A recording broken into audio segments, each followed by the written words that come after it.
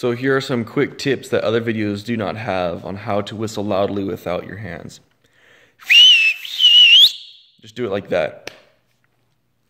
No, I'm doing this in one take, so um, whatever happens, happens. If you haven't checked out other videos online, go ahead and do that because they'll kind of like show you up close. And I think some of them have some pretty good advice. There's a guy with a missing tooth. He has like an Australian accent or New Zealand or something. He probably has some of the more accurate information. However, the tips I'm going to be giving you have been uh, from my own experience. It took me two years to figure out how to do this. With these tips, you can do it a lot sooner than that because I didn't have anyone teach me. These tips are not found on other videos. Um, they're all my own, copyrighted.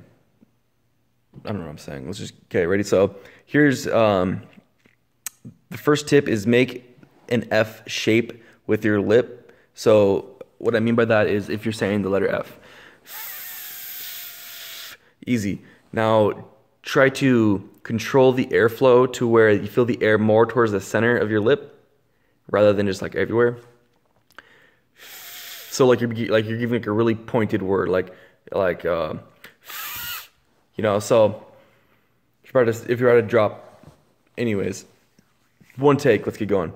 So the second tip is you're making a th sound with your tongue and your and and where it is in relation to your teeth.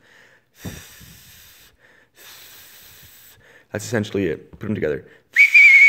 You have to move your tongue a little bit. You have to really, the part of your tongue you're moving mainly is the tip. The very, very tip um, angles the air where it's going. You need to go against your teeth, and then there's a little hole between your tongue when you're making that th sound that allows the air to go down against your lip. So, but but really, it's just it's just a th. And then you're really controlling that th to where you feel the air just really hit your front of your teeth right in the center, rather than just kind of like if you're just saying a word You'll feel the air everywhere. You want to feel it right there. Um, this is the third tip that is probably um, the main tip that helped me when I figured this out.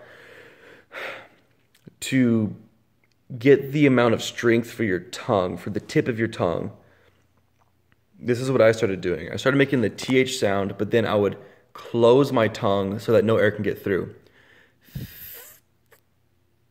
and then keep blowing so you, you try to keep the air in. If air is going to escape and you actually do want it to escape, you want to eventually blow hard enough to where air leaves. You want to let that air escape from the tip of your tongue. Um,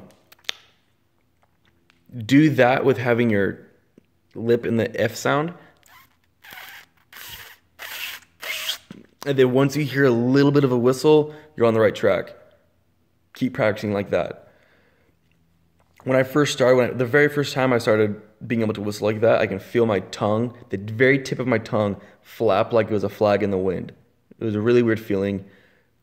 That's what you got to strengthen. The more you can keep that still, um, the more you can whistle.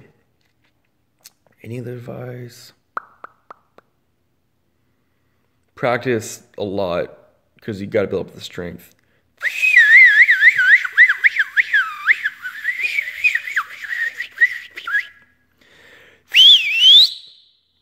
Um, if this is helpful, let me know in the comments because this took me four minutes of my life. And I want to know that I helped someone. Any questions, let me know.